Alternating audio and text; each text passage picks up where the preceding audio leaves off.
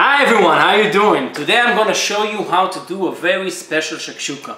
I'm not gonna use a regular chicken eggs this time, I'm gonna use the quail eggs.